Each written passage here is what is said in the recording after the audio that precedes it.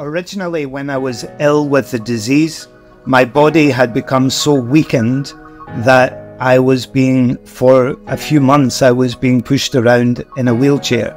I didn't have the strength to push myself. Three months after the end of my treatment, I started to ride a bicycle again. And after about six months or so, I had been able to cycle about a thousand miles.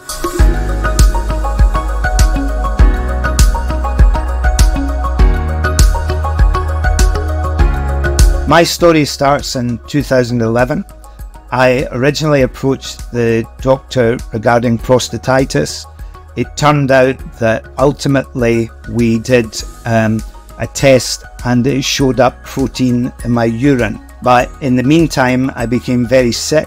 Symptoms started with uh, nausea, vomiting, extreme fatigue. The severity of the vomiting was increasing my legs and my feet became very swollen with fluid, and it was um, it was becoming more and more difficult to to vomit, and that put a lot of pressure behind my eyes, and I burst all the blood vessels on either side of uh, my eyes. So it left me with severe bruising, which you've seen in the photograph, and it was as a result of that that I was admitted to the emergency room at the hospital. I was admitted for two weeks where they carried out a number of blood tests, skeletal x rays, but they only got a diagnosis after they did a kidney biopsy that there was evidence of uh, amyloid in the blood, which confirmed that I had amyloidosis. They gave me a lifeline because before I went there, I hadn't read any stories about people making good recoveries into remission. I was coming back to hospital on the train and I thought one day I would like to ride my bicycle back here. So that was that was a big deal because I lost a lot of weight. So I was very weak. After the treatment had finished, I was going to try riding a bicycle again.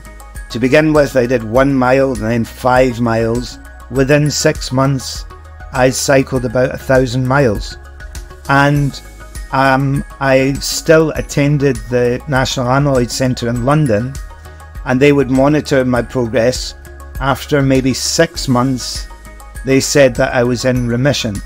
And I should say that three years after that first visit to London, I rode my bicycle from Dunfermline in Scotland to London, and that was a journey of 507 miles over six days. I was smiling all the way through it because I had been given another chance at life.